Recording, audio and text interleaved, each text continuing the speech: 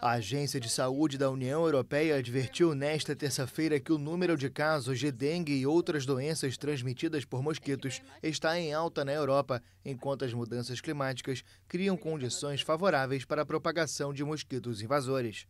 Em 2023, foram registrados 130 casos de dengue autóctone, detectados em pacientes sem antecedentes de viagens na União Europeia e Noruega, Islândia e Liechtenstein.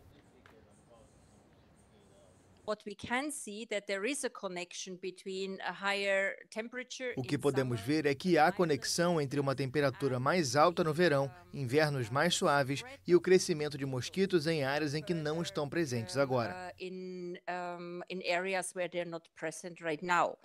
Os casos importados também aumentaram, passando de 1.500 em 2022 a 4.900 em 2023, número mais alto desde 2008. O Aedes albopictus, conhecido como mosquito tigre, pode transmitir o vírus da dengue, da zika e da chikungunya e está se espalhando no norte, no leste e no oeste da Europa. O Aedes aegypti, que também transmite a febre amarela, se estabeleceu recentemente no Chipre e em regiões periféricas da União Europeia, como a Ilha da Madeira.